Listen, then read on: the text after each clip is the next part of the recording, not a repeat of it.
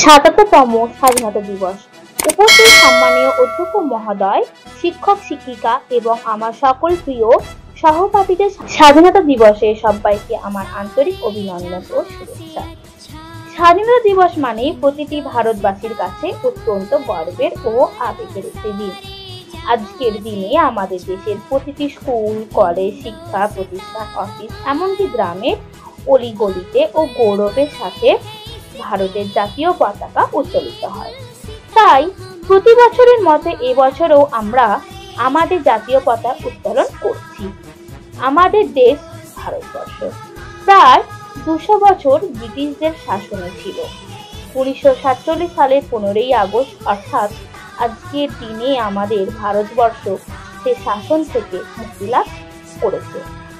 এবং সেই সঙ্গে বিশ্ব মানচিত্র একটি সার্বভৌম গণতান্ত্রিক ও ধর্মনিরপেক্ষ ভারতবর্ষের উন্মেষ ঘটেছে স্বাধীন ভারতের প্রথম প্রধানমন্ত্রী পণ্ডিত জওহরলাল নেহেরু আজকের দিনে নিউ দিল্লির লালকেল্লায় জাতীয় পতাকা উত্তোলন করেছিলেন। স্বাধীনতা দিবস আমাদের মনে করিয়ে দেয় অনেক বীর শহীদদের আত্মবলিদানের ইতিহাস।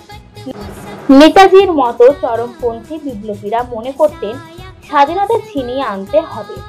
তাই তিনি গড়ে তুলেছিলেন আজাদ হিন্দ ফৌজ। তিনি বলতেন, তোমরা আমাকে রক্ত দাও, আমি তোমাদের স্বাধীনতা দেব। আমরা জানি, উনিশশো আট সালের এগারোই আগস্ট দেশের জন্য হাসতে হাসতে হাসির দড়ি পড়েছিলেন আঠেরো বছরের এক যুবক, যার নাম ক্ষুদিরাম বসু। আমরা কখনোই ভুলতে পারব না।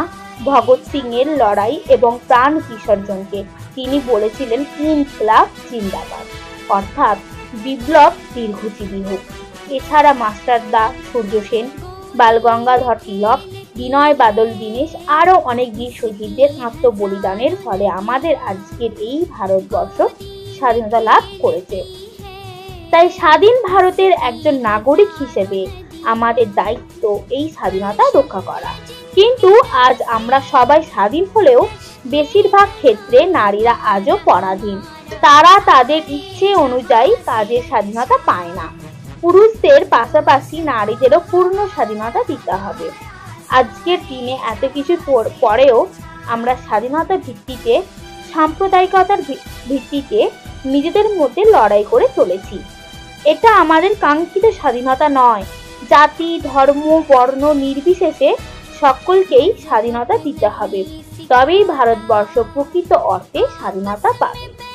আমাদের দেশকে এগিয়ে নিয়ে যাবার এবং ভারতবর্ষকে বিশ্বের সেরা দেশ হিসেবে গড়ে তোলার দায়িত্ব আমাদেরই। তাই আমাদের সবার প্রতিজ্ঞা করা উচিত যে আমরা সবসময় আমাদের দেশের সেবার জন্য কাজ করব এবং দেশকে আরও শক্তিশালী করে তুলব।